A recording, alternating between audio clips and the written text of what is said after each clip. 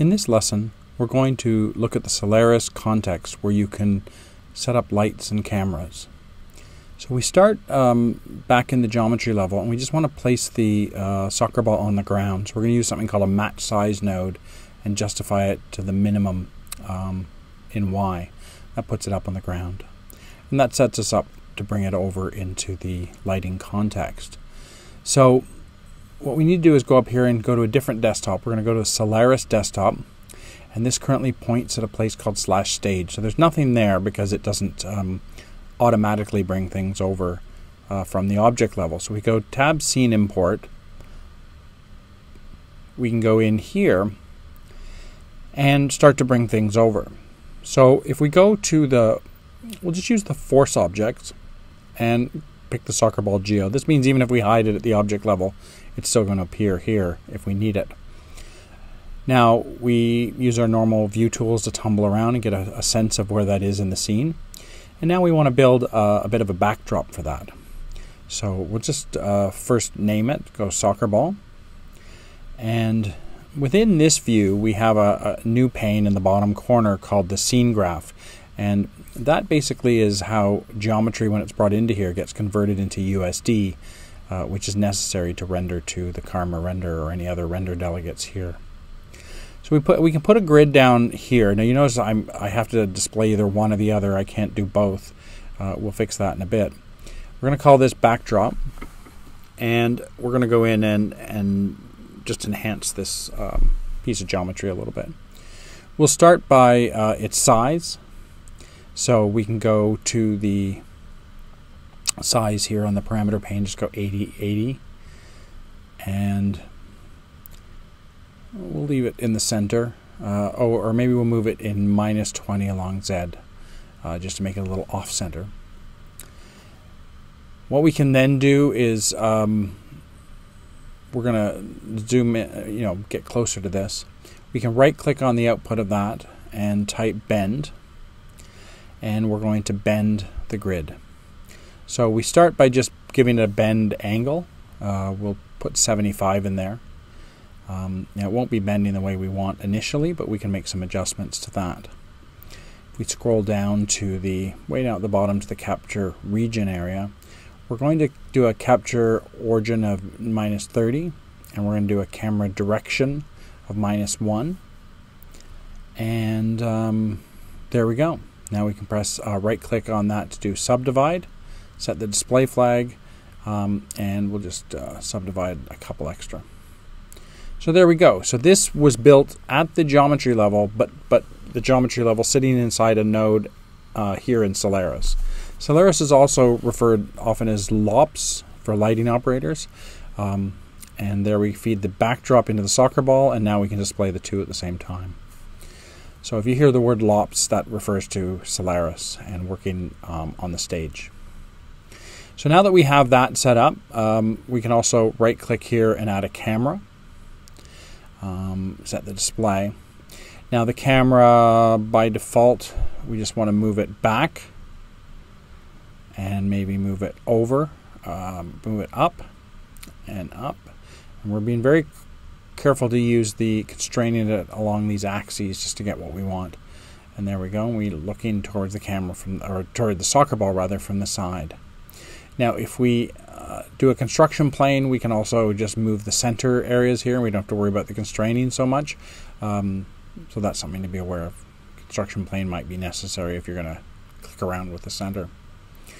Now, once we have that, we can actually look through the camera. So we're going to look through the camera and then we can lock the camera um, so that we can do view tool view, view changes rather um, to sort of knock it off to the side and make sure we're looking from below. So we tumble track dolly in a little bit and get you can also use those handles there in the camera but sometimes the view tools um, work more effectively. And unlock that when we're finished just so we don't um, later view changes don't get in, get in the way or lose the camera. We're going to bring an environment light in press enter. Um, set some intensity there. We're just going to 0.5. We don't want that to be the major um, contributor light-wise, but it, we want it to be there. Return on Karma. Karma is a renderer designed to work with USD, um, which is why everything in Solaris is converting it into USD. Um, and that makes it a Hydra delegate that's available for us here in the viewport and later to render disk. The button we just pressed there is the OptiX denoiser. So if you have an NVIDIA card, you can turn on that denoiser and it helps resolve the image a little bit faster. And one of the nice things about uh, working here in the viewport like this is uh, you can keep working, uh, making changes, and the updates will be available to you almost immediately. And then you just, you know, you don't have to wait for it to resolve 100% to get that. So we're adding in a second light, a point light. Um, we just clicked on the shelf tool.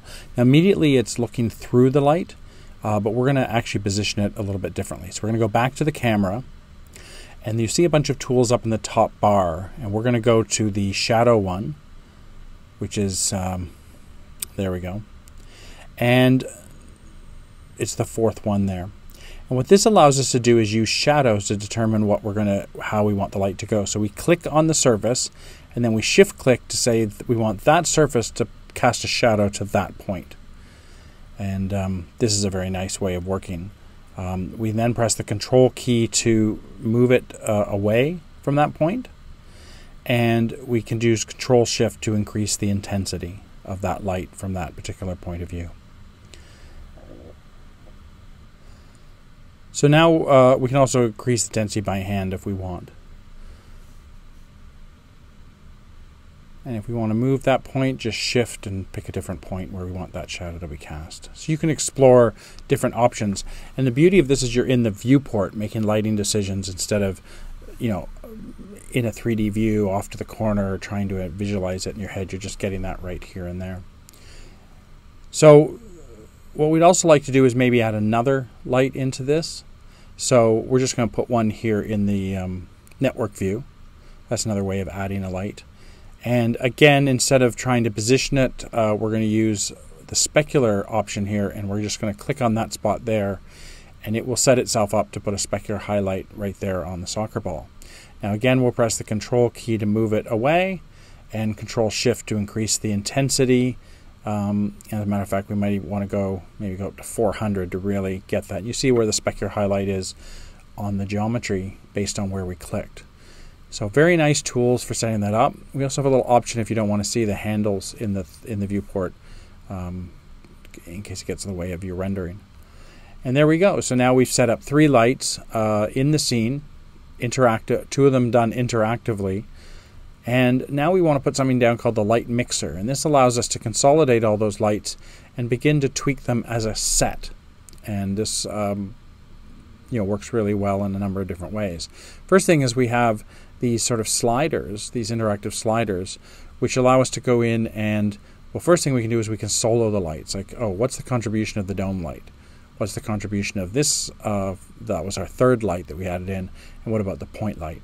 Okay, that one's a little little less. It's not contributing as much. Maybe it's further away. And we can in here start to bump up intensity and exposure and say, okay, no, we really want that one to contribute a little bit more. Uh, and then unsolo it and we can see how the impact is on the scene itself. And if we think, okay, we went a little too far with that, maybe we bring that back down, or maybe we bump it down even lower, and we get the um, the look updated as we make those changes. So as you can see, the Solaris environment is a great place to set up your objects, uh, set up your lights, and begin to explore uh, all the different options.